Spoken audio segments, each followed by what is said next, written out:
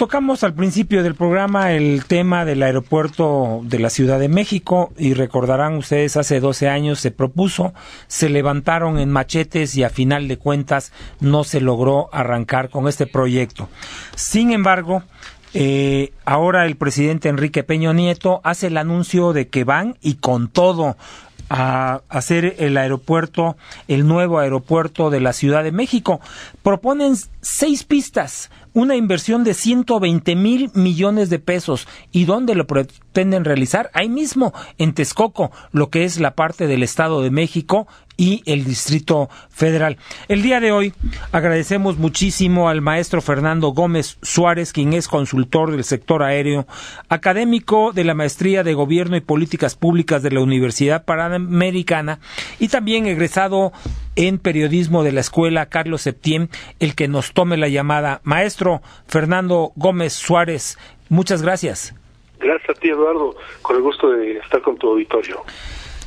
Eh, agradeciéndote primero el que nos hagas el favor de tomar la llamada y preguntándote, porque tú eres experto en esta materia del sector aéreo, ¿qué va a representar el anuncio que hace el señor presidente Enrique Peña Nieto con estos 120 mil millones de pesos y eh, pretender un aeropuerto con seis pistas?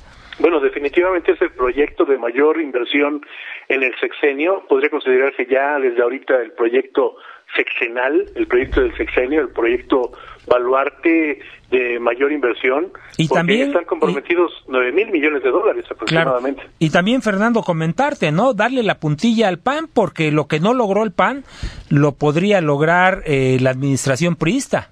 Así es, definitivamente eh, vale la pena eh, retomar el punto de la coordinación y la concertación eh, y el manejo político de todo este asunto, porque recordarás, con Atenco se echó a perder el proyecto de Fox en hace 12 años, lo cual se derivó de un mal manejo hasta donde vimos de, de, la indemnización de los ejidatarios, o sea, salió de control y se abortó el proyecto.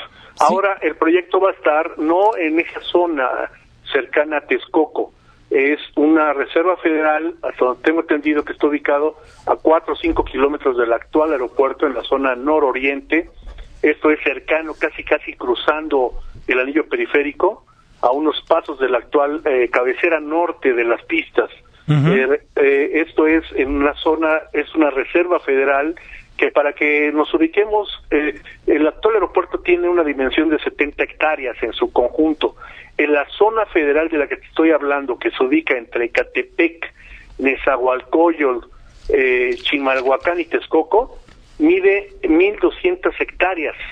Esto es como 15 veces más lo que tiene el actual aeropuerto, por lo cual es una zona enorme, es una zona considerablemente grande y eh, está libre de posibles invasiones o problemas de este tipo que, que se comentaba que toda esta zona obviamente era el vaso de Texcoco o lago de Texcoco que poco a poco se ha ido secando, ¿no? Sí, de hecho se ha resecado y a partir de los años 60, 70, no sé si recuerdes Eduardo, ¿Sí? alguno de tus, de tus amables radioescuchas, recordarán que se formaron unas enormes tolvaneras que inundaban, afectaban a todo el Valle de México, principalmente la zona oriente, precisamente por la desecación del lago que poco a poco a través de las décadas se fue reduciendo hasta quedar ahora en un lago todavía considerable y que eh, retomó un proyecto de rescate ecológico urbano que resolvió el problema de las tolvaneras a través de eh, lagos de regulación horaria o lagos artificiales, porque es una zona donde se concentran los los, ríos que existen en el valle metropolitano. Eh, hay que considerar que aproximadamente confluyen unos siete ríos que, que bajan desde el río Magdalena, el río Guadalupe, el río de los Remedios, el río Churubusco, el río Viaducto, el de la Piedad, este, el río del Canal de la Compañía de allá de Charco, todos estos ríos que, eh, son afluentes naturales que aún no todavía existen, este, se contaminan al llegar a las tuberías y a los drenajes de la Ciudad de México. Llegan como aguas negras y estos son regulados en esa zona. Habría que preservar o considerar este proyecto para reforzarlo y de, alguna forma convivir ambos proyectos, el, este proyecto que, que, la ampliación del actual aeropuerto mediante una terminal satélite con seis pistas al final de cuentas, pero que se realizaría en un proyecto de 20, 25 años. O sea, es un proyecto transeccional que es muy importante considerarlo porque nunca lo habían considerado así en secciones anteriores. Todos inventaban, llegaban con nuevas ideas, borrón y cuenta nueva, y por eso nunca se pudo avanzar en un proyecto que lleva 30 años esperando, no obstante que el gobierno federal desde 1985, a través de ASA y de SCT, este, habían autorizado o habían considerado este, esta opción como la más viable, más allá de Texcoco, Tizayuca u otras opciones. Ahora con Manuel Ángel Núñez Soto, también gobernador, ex gobernador de Hidalgo, que conoce bien este proyecto porque compitió con Tizayuca para eh, buscar eh, llevarse a su estado en aquel entonces las operaciones alternas del actual aeropuerto capitalino de la Ciudad de México, este, pues va a estar al frente de este proyecto y considera consideraremos que tendrá un buen desempeño y sobre todo una concentración política y, una viabilidad que hay que cuidar también porque son inversiones que eh, son considerables en primer lugar. Multimillonarias. Y que, requieren también de la participación del sector privado. El antecedente más cercano, recordarás Eduardo, que eh, con la construcción de la Terminal 2 hace seis años, eh, en el actual aeropuerto. Sí, que nada más le hicieron un parchecito a final de cuentas. Exacto, exacto, no resolvieron el problema operativo porque el problema existe y se ha venido dando un problema en el cual pues se está hundiendo, no consideraron una cimentación adecuada por los terrenos lacustres precisamente, es una zona como gelatinosa. Sí, que tomarás también en cuenta, Fernando, y, y a lo mejor coincides conmigo, que el Aeropuerto Internacional de la Ciudad de México es el portaaviones más grande que existe en el mundo, con un espesor de entre 8 y 10 metros de profundidad en el caso de las pistas, ¿no?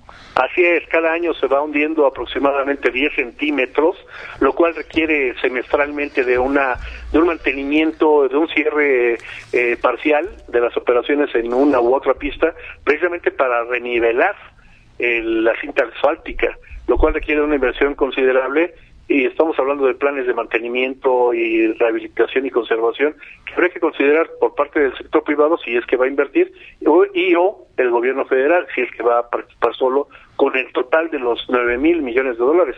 Claro. Nada, nada, nada, nada, fácil.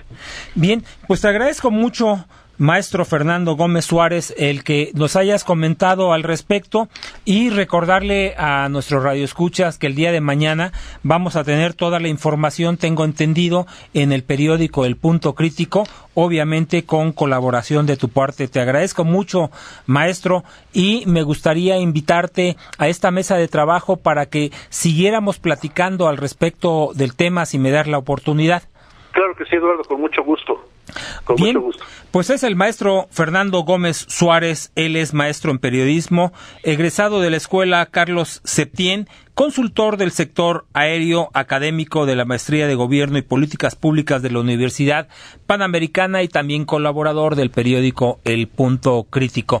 Déjeme decirle que en 1900, que sería 92, el sistema aeroportuario mexicano ya ya preveía de alguna manera la construcción de un aeropuerto que permitiera darle cabida a todas estas grandes aeronaves. Deben tomar en consideración que ahora los Airbus, los 800, eh, los 820, tienen una envergadura, es decir, de punta a punta de las alas de casi 80 metros. Imagínense que una de las pistas del Aeropuerto Internacional de la Ciudad de México, en su caso las dos, la 23 izquierda y la 05 derecha, tienen un ancho de 45 metros. Si tomamos en consideración que una de estas aeronaves tienen una envergadura de casi 80 metros a la hora que despegan o aterrizan, pues obviamente utilizan las dos pistas para subir y bajar.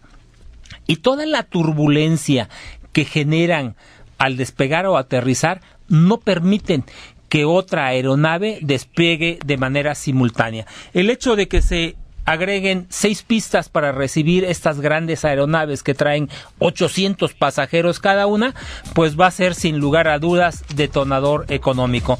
Ahí la información. Soy Eduardo Ramos Fuster. Nos escuchamos mañana.